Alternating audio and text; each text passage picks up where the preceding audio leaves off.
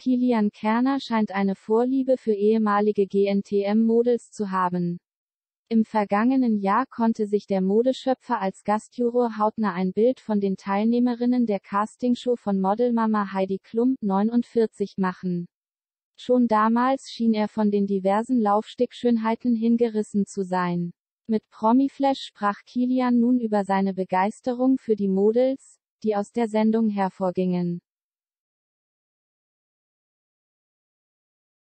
Am vergangenen Dienstag liefen bei der Show des gebürtigen Kölners im Rahmen der Berlin Fashion Week gleich drei ehemalige GNTM-Models über den Laufsteg. Martina Gleißen-Ebner-Teski 51, Viola Beck sowie Dasha Carriero 22. Im Interview mit Promiflash erzählte der 43-Jährige, dass ihn das Kirby-Model bereits während der Aufzeichnung der 16. Staffel begeistert habe. Aus diesem Grund buchte Kilian Dasha im vergangenen Jahr auch direkt für seine Fashion Show. An den Models der vergangenen GNTM-Staffel fand Kilian ebenfalls Gefallen. So sei Martina ihm beispielsweise schon in der ersten Folge aufgefallen, so dass er irgendwann die Agentur anrief, um die 51-Jährige zu buchen.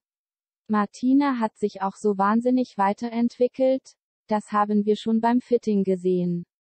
Die läuft anders, die fühlt die Klamotten, also echt toll, schwärmte der Designer. Auch Viola begeisterte den Wahl-Berliner von Anfang an. In Viola war ich auch sofort verliebt, deshalb habe ich sie gebucht, berichtete Kilian. Für ihn sei eigentlich sofort klar gewesen, dass das Nachwuchsmodel seine neue Kollektion auf dem Laufsteg präsentieren soll.